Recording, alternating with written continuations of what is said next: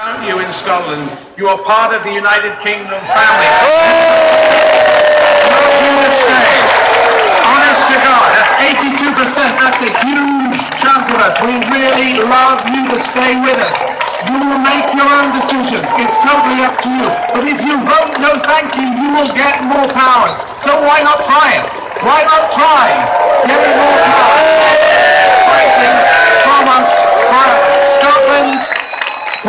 care. Good luck to you. Whatever you do, we salute you. Thank you.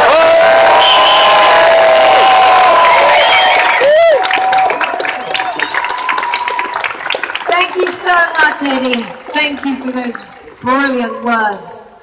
We are almost at the end of this evening's gathering, and I'd like you all to do a thank you.